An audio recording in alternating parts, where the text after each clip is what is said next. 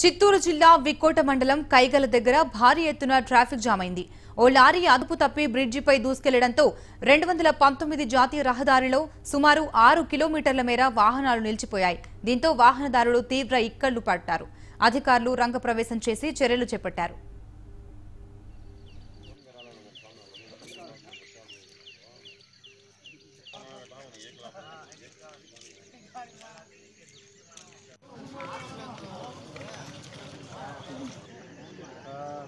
எல்லாம் கருப்பு கலர் அந்த இது